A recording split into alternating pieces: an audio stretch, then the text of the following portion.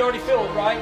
You feel the crowd. Let the crowd do their job. Going to do their job. You to stay focused on your responsibility. Do your job. Stay focused, all right?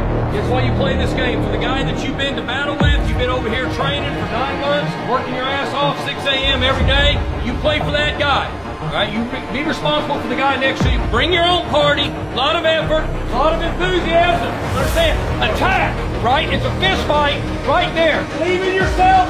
Believe in your team. Win on three. One, two, three. Win! Welcome to Stillwater and Boone Pickens Stadium, Oaks. In the tightest sideline venue in college football. This is a tough venue. Rolling it's Strahan right now at Boone Pickens Stadium. Oklahoma State's used to the big stage. This environment is for real. Oklahoma State's incredible. When you look at this offense, they have weapons all they are very sound, and they've got guys that can get after the quarterback and put pressure. They know how to get off the field. This defense is for real. You tell them I'm coming, and hell's coming with me,